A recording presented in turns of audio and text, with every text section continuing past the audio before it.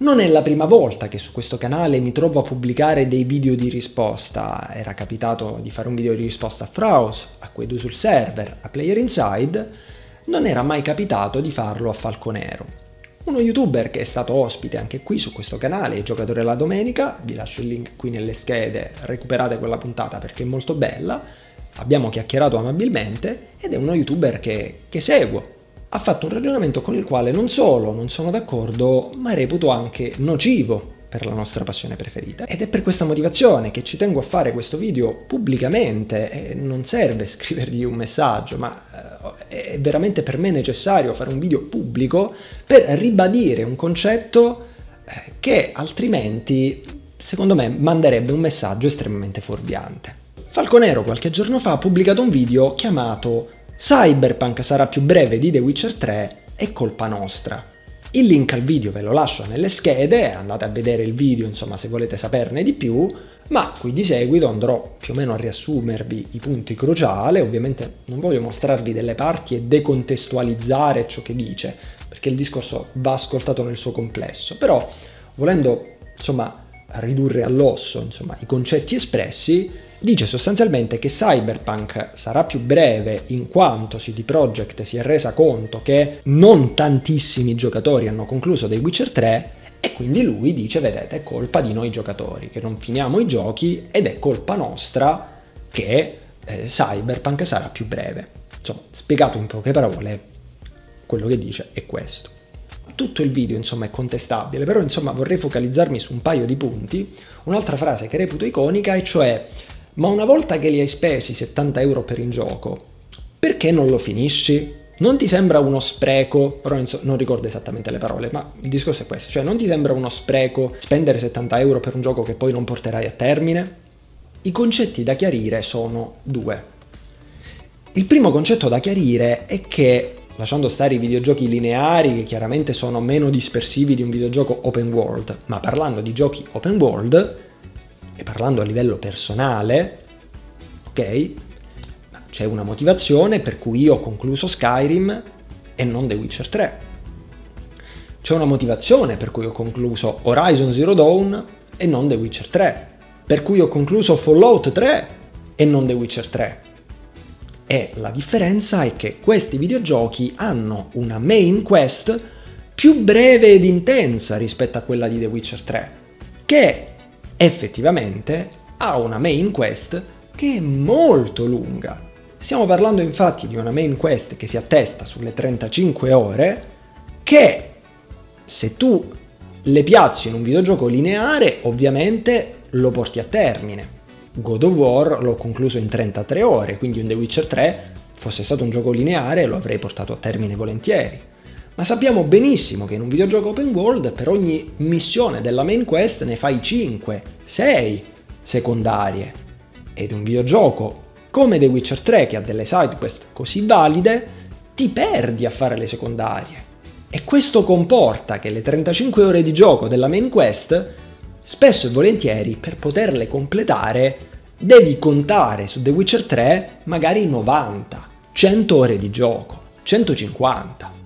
Per un videogioco come The Witcher 3, nel quale tu giochi 40, 50, 60 ore e ancora non lo porti a termine, ebbene, una persona dopo 60 ore di gioco di The Witcher 3, pur essendo il capolavoro che è The Witcher 3, avrà il diritto di potersi annoiare. Caspita. Perché è colpa nostra?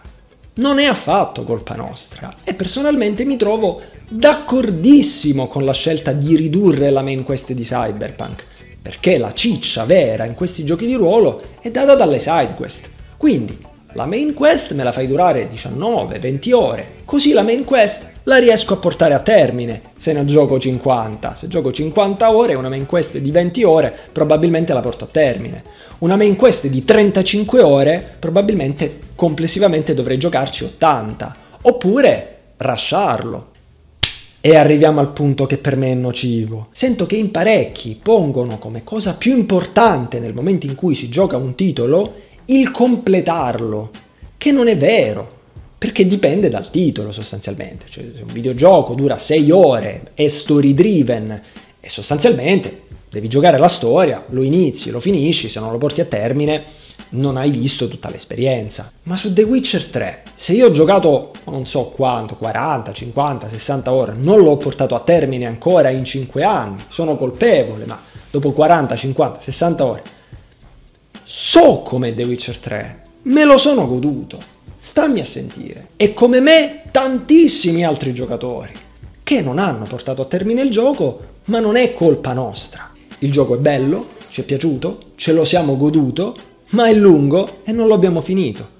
Inoltre, un altro concetto che per me è fondamentale comunicare è che spesso e volentieri si parla sempre dei soldi, ma non sono solo i soldi la risorsa preziosa che abbiamo, sono due le risorse preziose che abbiamo. Una sì è il denaro, ma l'altra è il tempo, caspita. Anche il mio tempo è prezioso. E nonostante apprezzi The Witcher 3 e ribadisco è candidato numero uno a possibile gioco della generazione, ho tutto il diritto dopo 50-60 ore di stancarmi di giocare a un videogioco che comunque reputo eccezionale, avere tanta voglia di giocare a Cyberpunk, ma non per questo sentire a tutti i costi la necessità di giocare altre 50 ore a The Witcher 3 per doverlo finire a tutti i costi, semplicemente per poi non essere colpevole di aver finito un capolavoro. Non è così secondo me che funziona. Questo è il mio punto di vista. Mi sono sentito di fare questo video risposta perché sono un argomento che ho molto a cuore. Io è per me una crociata a livello personale. Il discorso che non è importante finire il gioco, è importante goderselo. Cioè è molto più importante godere il gioco rispetto a rasciarlo e vedere la fine. Ed è per questa motivazione che ci tenevo tantissimo a parlarne. Ti ringrazio che mi hai dato lo spunto. Ti insomma, chiedo di prendere questo video per quello che è, un video di risposta fatto con rispetto da creator a creator e invito ovviamente insomma, eh, la community a palesare il proprio punto di vista senza schierarsi da una parte e dall'altra, già che con Falconero c'è un grande rispetto. Grazie a tutti per l'attenzione e vi do un appuntamento chiaramente al prossimo video. Alla prossima ragazzi, ciao!